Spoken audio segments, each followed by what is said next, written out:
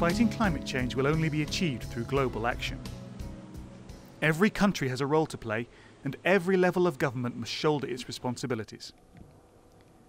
Local communities are particularly important, as up to 70% of climate actions are implemented in towns and cities.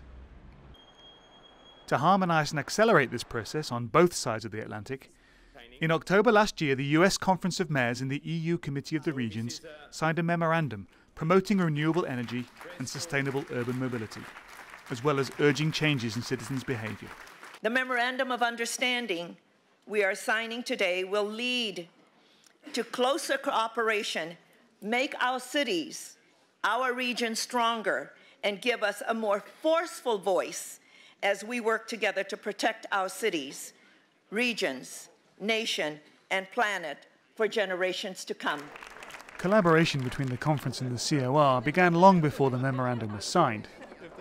For several years, US representatives have showcased their best practice during the annual Open Days, the EU's largest regional policy event. And the two institutions have both worked closely with the private sector to encourage green growth. One of the most valuable contributions to the memorandum came from young people. Students from the American and European schools in Brussels were invited to discuss the various solutions for tackling global warming. They were joined by Presidents Bresso and Kautz for a symbolic ceremony emphasizing the ultimate goal of all climate action preserving the Earth for future generations.